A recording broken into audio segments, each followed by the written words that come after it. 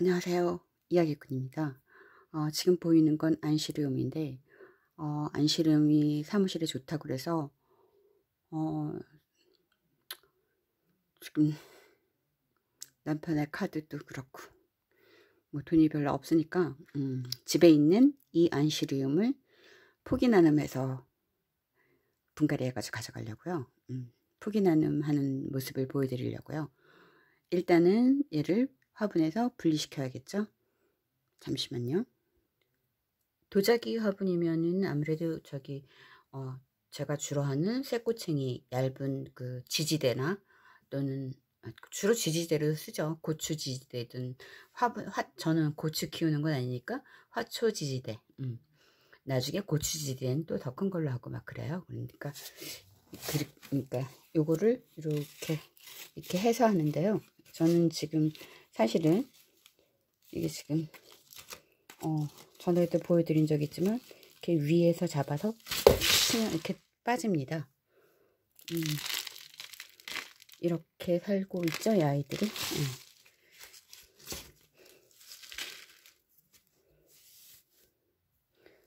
그러면 얘는 또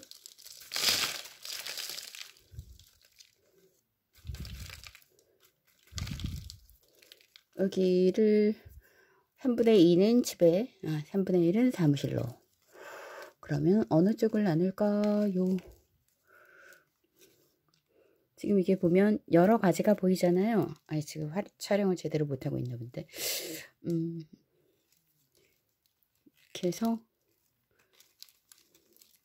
지금 이렇게 칼로 하면 음, 저번에 칼 가위로 살짝 했는데 어, 쓸데없는 아니 쓸데없는 게 아니라 잎사귀 하나가 억울하게 잘리더라고 얘네들 방향 조절해서.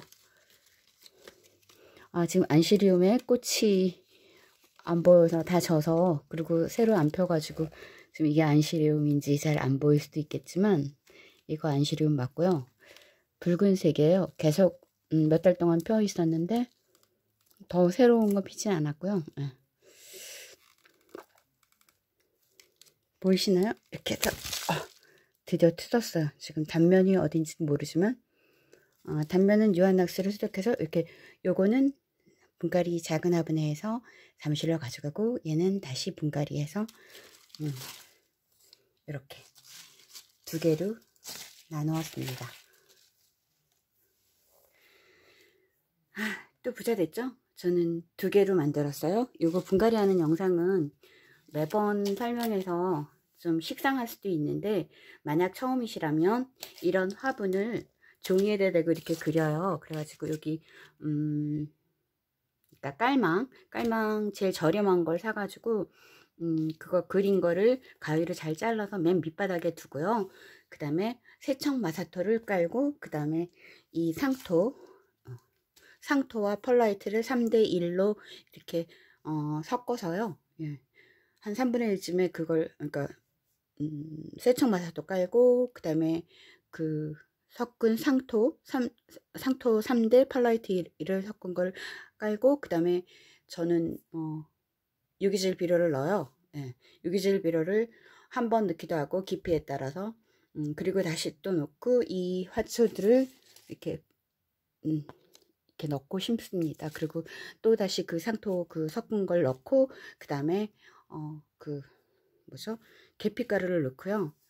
한동안 청치벌레 때문에 청진싹을 넣었는데 아직 그 효과는 잘 모르겠어요. 그거는 농사 짓는 분이나 대형 그런 구매에서 해야 되나 봐요. 하여튼 어쨌든 한 봉지 샀었기 때문에 되게 비싸더라고요. 생각보다는 어, 그렇지만 파는 입장에서는 그렇게 안 비싼지 모르지만 저에게는 음, 효과를 별로 잘 못 봤기 때문에 예 음, 그래서 어, 청진싹을 넣, 잘 위에다 놓고 다시 화분했는데 그거 자체는 총진싹에 대해서는 미안해요. 예, 안 좋게 얘기해서 예, 하여튼 어, 우리가 새롭게 구매해서 또 하나 사는 수도 있고요. 이렇게 분갈이 할 때 폭이 나는 좀더 컸으면 자랐으면 이렇게 자르는데요. 이거 지난 5월 달에 산 거예요. 아 지난이라니까 벌써 횟수로는 작년이네요. 작년 5월에 산 거라 음, 한 6개월은 넘었고 7개월 된 거죠. 예.